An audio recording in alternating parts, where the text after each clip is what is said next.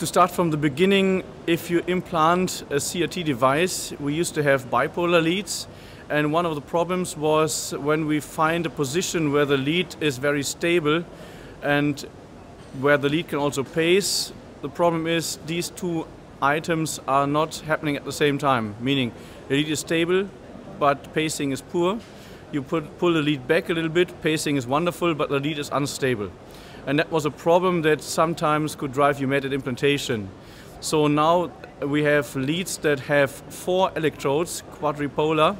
We can put it in until they are stuck in a very stable position and then we can select either some of the electrodes which are at the very tip, at the end of the lead, or some electrodes which, which are further down.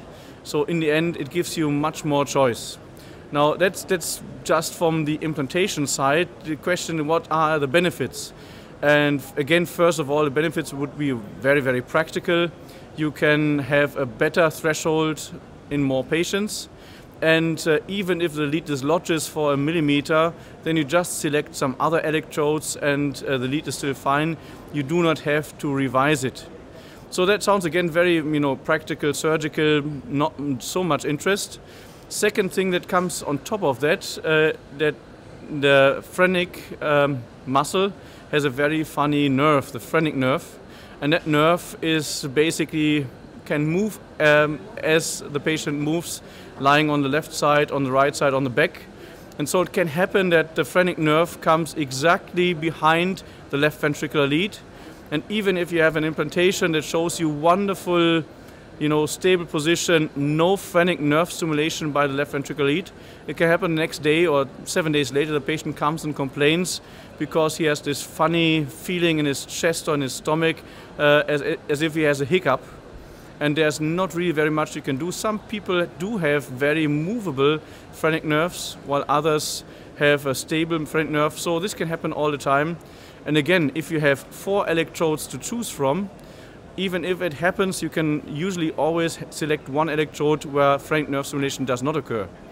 So again, this is all extremely primitive thinking, um, but quadripolar leads became very interesting uh, when they were the first uh, analysis and showing quadripolar leads have much less revision need than bipolar leads. And basically, in almost every person, you can find a solution even if thresholds are bad. Now, these again are mechanistic things. Interestingly, there was some uh, work done does that uh, translate in a clinical benefit? And it does, and it's very easy. If the lead is stable or can be used in almost every patient, you don't need to bring the patients back to hospital and do another operation. So the rate of rehospitalization was less in quadripolar lead, and rehospitalization rate for heart failure and any treatment connected to heart failure is an important point. So that, that was the beginning uh, where quadripolar leads, in fact, started to have an impact on clinical thinking.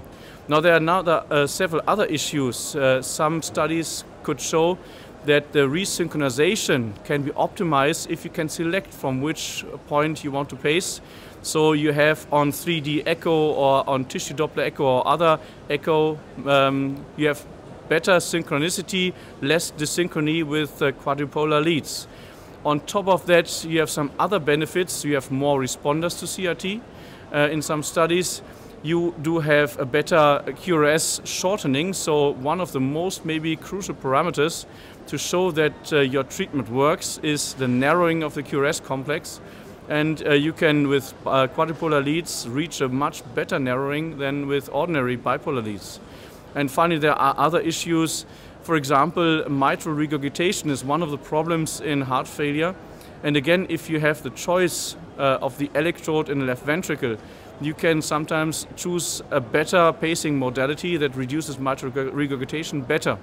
So there are a number of studies showing a benefit of quadripolar leads, and this benefit is much more than the very beginning, where we are just thinking of you know finishing the operation successful already. That is fine, but now we have more responders better resynchronization on echo, better resynchronization on ECG, less mitral regurgitation. So some pretty strong points for patients with heart failure.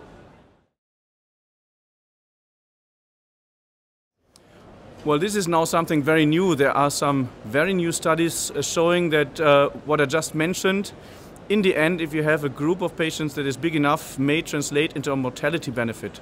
And this is quite funny because it's difficult to show, you know, if you have a cable with one, two, three, or four wires, you know, you would um, first say, well, it doesn't really matter as long as it stays where you put it. But in fact, it looks very much like if you can really select the optimal pacing site, and even if it is just some centimeters apart from the other pacing site, that may in fact convey a mortality benefit. From the first data, it looks very promising, and in fact, looking at the theory behind quadrupolar pacing, uh, I think it may be true. In fact, in sometimes several millimeters do make the difference between life and death, and it looks that this might be a way how patients with heart failure can even more effectively be treated with CRT.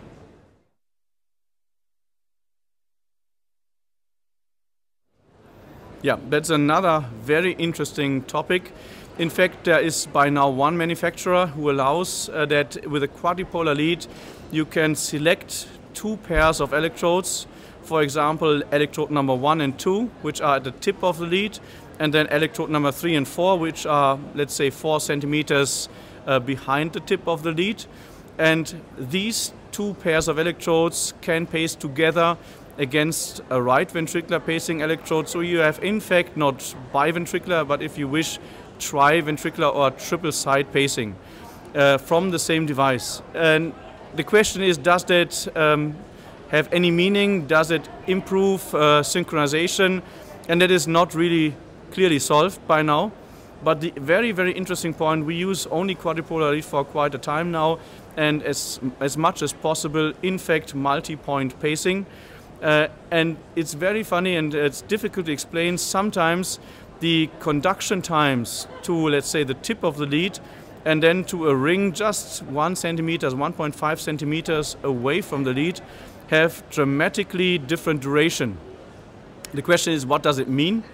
Uh, and it looks very much like it's uh, beneficial for the patient if we can select the point of the left heart that is usually, uh, well, us uh, usually contracting latest so if we have the longest duration of conduction and then we just take that left ventricular side, connect it to the right ventricular pacing side and maybe a third side somewhere else.